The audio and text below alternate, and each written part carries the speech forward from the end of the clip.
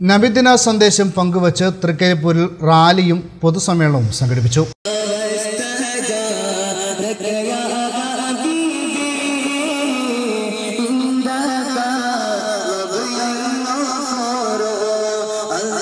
Trikaripur range ജം ഇയത്തുൽ മുഅല്ലിമീൻ മദ്രസ management association എന്നിവയുടെ നേതൃത്വത്തിൽ മൗലിദ് ജാഥയും റബ്ബിയ പ്രഭാഷണവും സംഘടിപ്പിച്ചു.